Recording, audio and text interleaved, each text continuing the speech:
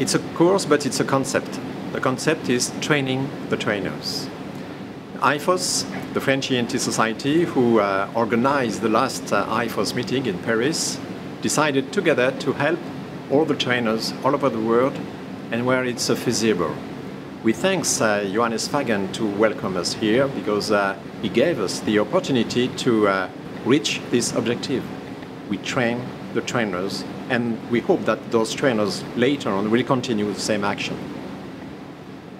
The IFOS was created during the last IFOS ENT Congress in uh, Paris, and his mission is to connect all ENT aged under 45 years from all over the world in order to develop collaborative works.